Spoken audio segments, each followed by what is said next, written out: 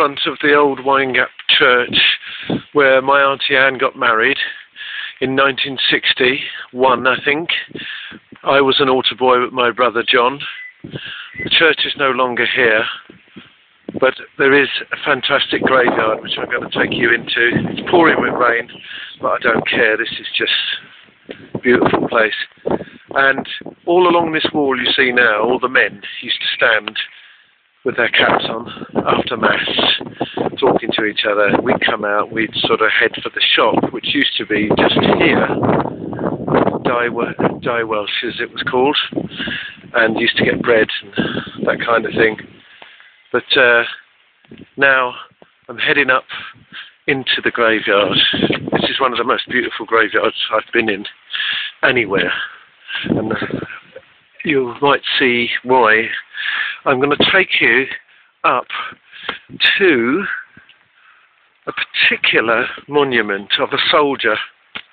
And I'm fascinated by this soldier, why he's buried in this graveyard.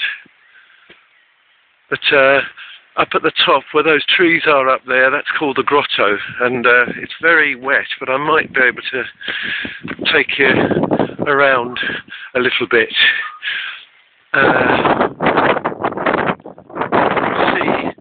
site of the actual church, which has completely been erased, knocked down, shall I say. Some graves, names people I remember. Robbie Jackman. Uh, there, for example, these are all names that I knew as a child, and it's uh, it's lovely it's lovely. It's the history. It's part of my history and my brother's history. My mum's got a grave marked out here when she goes. And judging by the way she is at the moment, that could be quite some time. So I'm glad to say I'm walking across where the church was, and uh, I think this might even have been where the altar was. But when we were kids, you know, we were brought up Catholics, no choices. We'd come into Mass here, and I think all the men were on the right hand side or the left hand side. Anyway, the women were on the other side. And you'd walk into the church, and people would know you were over on holiday, and they'd all turn around and look at you. It was very odd. Very odd. I have to say it's six minutes past eight and the light's still great. So we're on the the western part of Europe. I suppose we're getting the best light. Uh, Rossonane is a place just outside Windgap. My mum lived in a place called Rossonane Court. And over here there's a big monument, a big monument. Be merciful, O Lord, to the souls of all who are interred in this graveyard. Eternal light shine upon them. May they rest in peace. Amen. There we are beautiful mosaic. I think that's been restored. Some of this has been restored because it was decaying somewhat, a lot of it, and they uh, had a, a, government scheme where youngsters come and helped people to restore the. Uh, this is the new part of the graveyard, and I think this is where my mum's uh, one been marked out. My uncle Paddy, Lowry Shea, they called him he was a gravedigger. Um, he uh, was a big character in uh, in Windgap, and uh, there we are. There's my auntie Mary, uh, her husband, Peter Murphy, Kildrummy Windgap, lovely man, hated the bosses really did hate the bosses, but he was on his own. He wasn't really in a union. There was no union. He worked for the local companies and he had to compromise a bit to keep his job, but he hated them. And he was never afraid to get into a political argument with anybody in Windgap, Peter Murphy. A Kildare man. and a lovely man. And he used to say, now that's a fact. Everything used to be punctuated with, now that's a fact. Yeah. My Uncle Peter. yeah. And uh, Mary was in with uh, my mum today. This is the, the relatively new part of the graveyard. Now, let's go up to where this strange monument is. I've tried to research it and find out was he a First World War soldier, but uh, better do it because the light's fading. Over to the right here, you've got the grotto. My mum used to come up walking here a lot before she wasn't able to. She still gets around on her walking frame, mind. And she has to be told to use it because she forgets sometimes. And then we had the spectacle of her falling over. Here we are. Is this place? It's coming up to it now and it's like centre centre of the graveyard. It dominates the graveyard really, albeit behind some trees now, but it's uh, it's got a, a dominant place. I don't understand it. Who this person was. Now, here we are.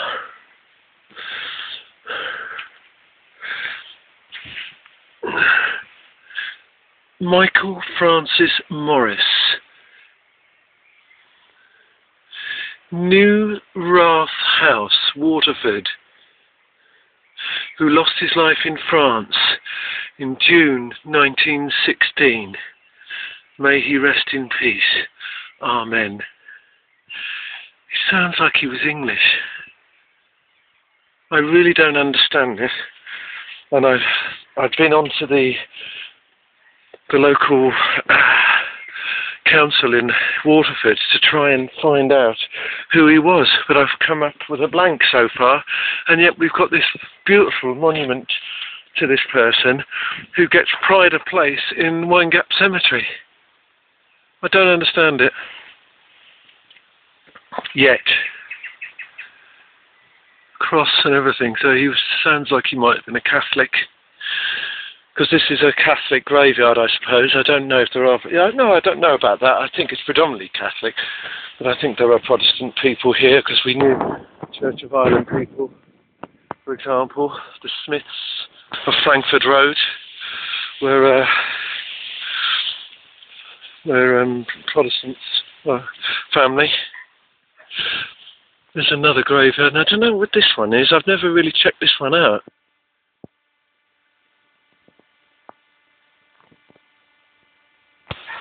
1910, Waterford, again. He was a JP, David Highland, JP. Now there's another one on the other side as well. Uh, what is the connection with Waterford and Windgap? Why somebody as eminent as a JP, if you like, is interred in the family burial ground attached to the church.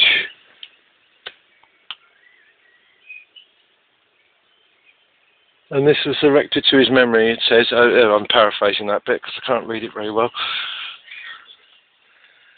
Look at these beautiful trees. Gorgeous place to come for a walk and it's all been lovingly restored. All these walls here.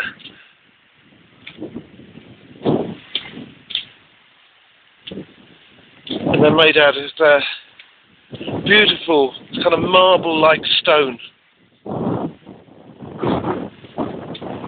And over there, you can see a house is, which is in Windgap. Oh, here's the other one. This is another. Uh, this is a Waterford person. I was Ah, erected in loving memory of Very Reverend P.J. Hoare, Cool Hill, the beloved pastor for 40 years of Blairsville, Pittsburgh, where he died 29th of September 1939, just after the Second World War started. My God.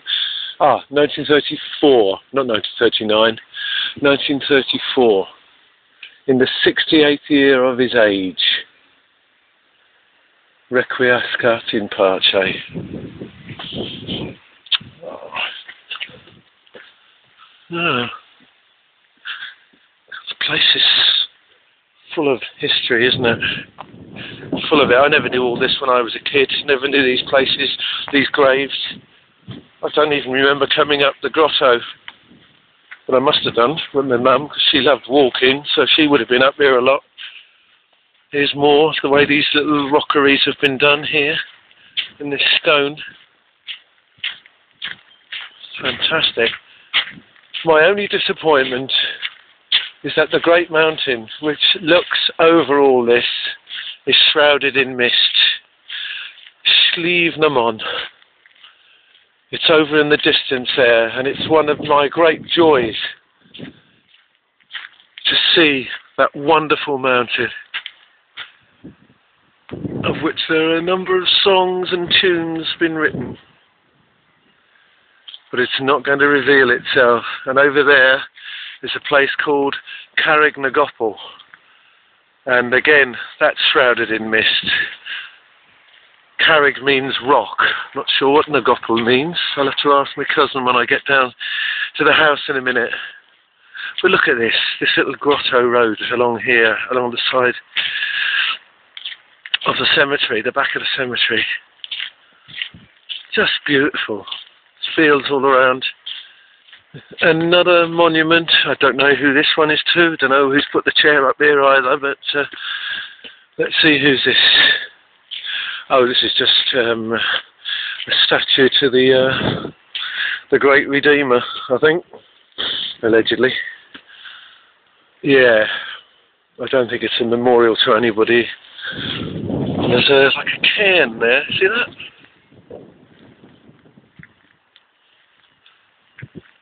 All these little things revealed. I think there's been clearance done. You can see there's been clearance done because this was very much overgrown. And I think these things have been revealed. Certainly, I don't remember seeing that cairn there, oh, or what looks like a cairn. I don't remember seeing that when I last came up here last year. Fascinating. And yes, our old bovine friends there probably wondering what's that idiot doing up here at this time of the night. But there you go. Just come round the back here, we'll go all the way round.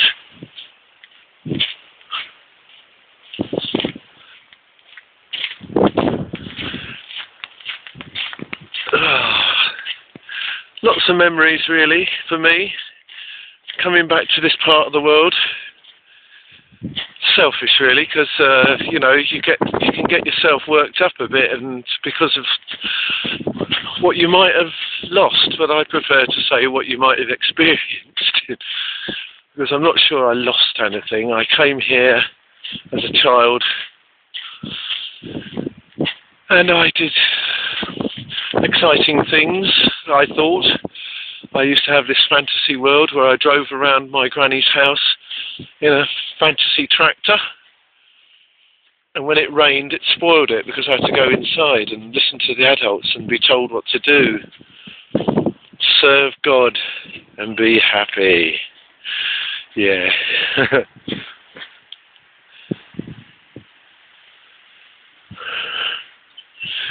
uh, I'm going to have to try and. I hope the weather's good tomorrow because I'm going to come out here and hope that Slievenamon will appear from the mist.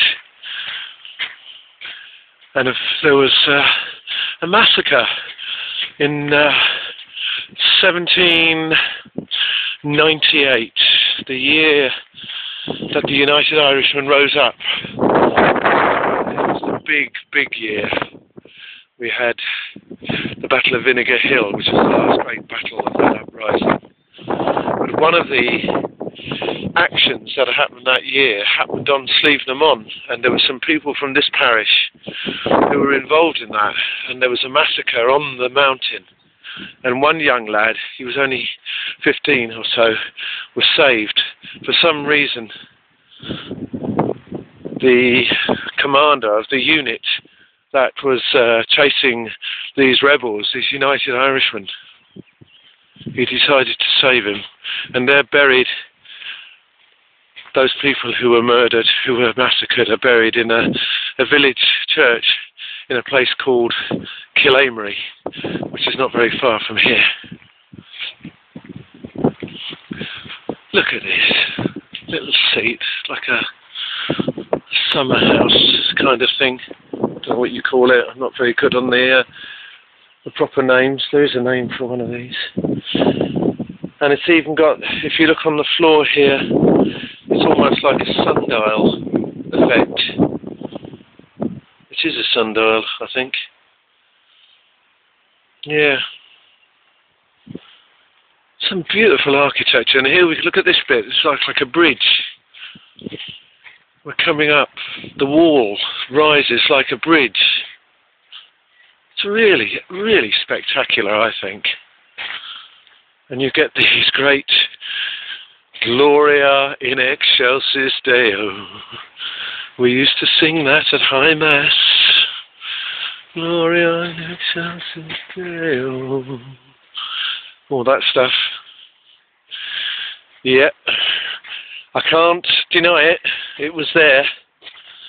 Although I may have given it the big E in terms of belief. Look at this down here, these steps. Now these steps were, uh, yeah, at the back of the church. I do kind of remember them when I was a kid.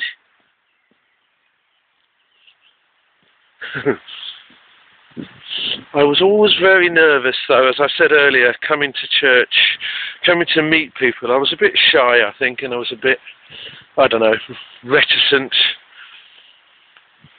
And yet, when I look back at it now, this it gives you a strange feeling, doesn't it? It must be the same for us all, you know, wherever we're from. Certain memories. Look at that view of the churchyard from here.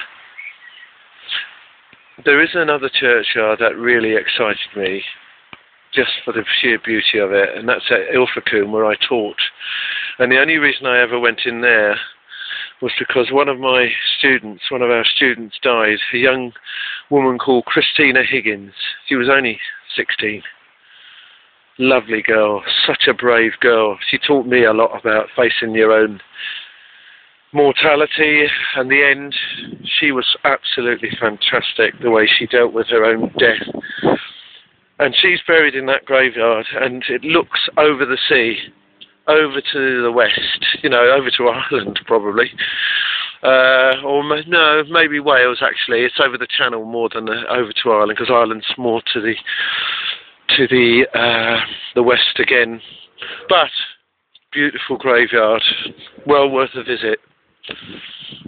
Yeah, it's not that I go around lots of graveyards. I have to say, I think it's just the fact that uh, certain graveyards are in impressed on my brain.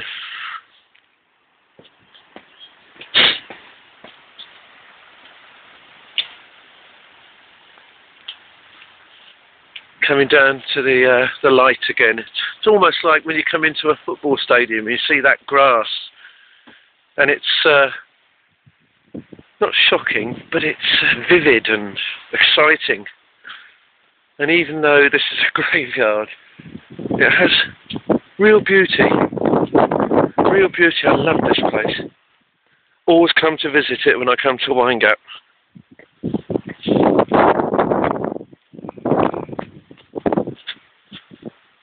I can remember being in the church. Just we're back at the where the church, the site of the church is. This green area was um, and my uncle Jimmy, he would say, "Now don't look behind. I'll be up in the gallery and I'll be watching."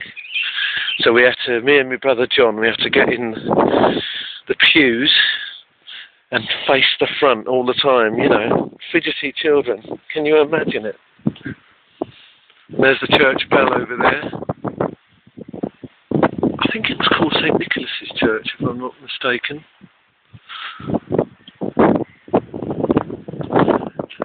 And this graveyard holds a lot of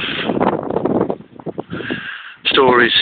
There's lots of tragedy here, and I mean real tragedy. There are some children buried here, and their mother.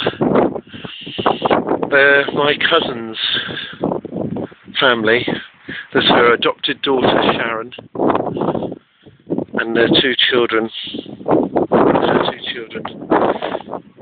And Christmas two years ago now, just before my mother became ill, two and a half years ago, literally on Christmas Eve, she was murdered. And then the person who murdered her went back and burned to make it look like a, an accident, and the children were asphyxi- asphyxiated. And uh, it turned out that the guy who did it lived in the street, lived in Windgap, and uh, there was a huge court case and trial, and my cousin Nancy, my first cousin, she never got over it. She's never got over it. Her and her husband Christy. Strangely enough, I met her adopted son David last night. I'd never met him before. Sharon's brother.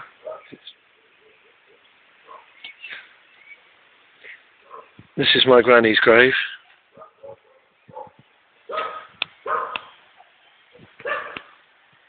Granny Shea. John O'Shea, her father, her husband, sorry, my mum's dad, died 27th December 1946. Great musician and singer, my mum often told me. His wife, Elizabeth O'Shea, their daughter, Peggy, who died in childbirth, with Patrick, who survived and is now a singer of some note in Ireland. He, tours Ireland, England, America, anywhere the Irish are, and they like that kind of country style music. But uh, it's not my music, but uh, I appreciate what he's doing. Uh, and there's Pat Patrick, Jimmy and Paddy, the the two boys, the two eldest boys, Paddy Lowry, known to everybody around here as Lowry. He died in 1985, that long ago, my God. And he was a great man, big, big man. And one year, during the uh, the troubles in the uh, the 20s, the Black and Tans turned up. In this was a, a rebel area, and the Black and Tans turned up, and they sat this seven-year-old boy on the pier of a gate and threatened to kill him. My mum says it did him. He never got over it. He never got over it. It did his head in, as they say. And here's the O'Shea grave. My mum won't be buried here because there's too many people in it already. So she's got another place marked out, and she's going to be next to my auntie Mary, who wants to be. She's already chosen a place, my mum, but uh, she's on her own in, in that part of the graveyard. You'd think it wouldn't make any difference, but it does. And uh, my auntie Mary, she said she had a place, and she's going to wants my mum to be next to her, so that's the way it's going to happen.